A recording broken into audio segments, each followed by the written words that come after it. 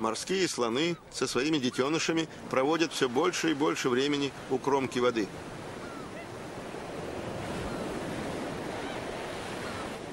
Дельфине нужно научиться прятать свой спинной плавник под водой.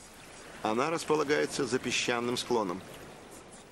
Но с тех пор, как она села на мель, это самое близкое расстояние от берега, на которое дельфина подплывала сама.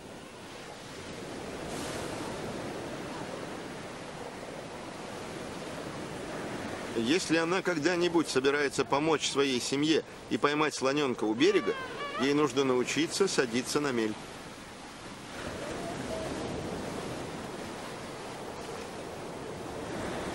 Слоненок благоразумно выходит на берег.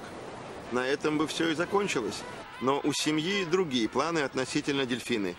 Тихим ясным утром все семейство собирается позади дельфины, подвигая ее ближе и ближе к линии пляжа. Для дельфины это самый сложный урок.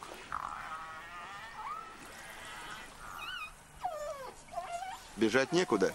Венера закрывает ей путь отступления сзади, в то время как Лизон, как настоящая мать, подталкивает свою дочь, которая не горит желанием проделывать это прямо к кромке пляжа.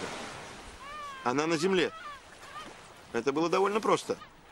Намного сложнее снова отплыть от берега. Она пытается сняться с мели, но Лизон и Венера окружают дельфину, вынуждая ее полежать спокойно и привыкнуть к новому ощущению телом твердой земли.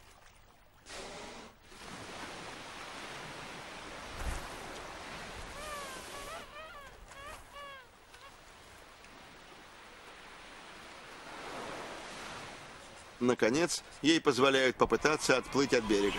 Ей нужно научиться изгибаться всем телом и одновременно поворачиваться из стороны в сторону, чтобы она могла соскользнуть по небольшому песчаному склону.